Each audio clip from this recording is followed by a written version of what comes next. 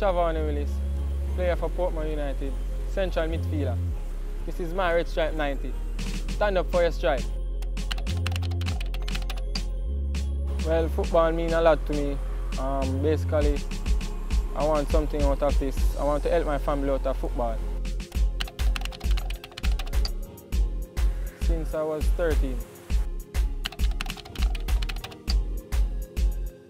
Well, I used to watch Ricardo Kaká playing for Brazil. It bring back peace to my community. I went to Jamaica College, School for Champion. Um, sit at home watching TV. I'm a defensive player. I like to tackle and pass. To become a professional footballer,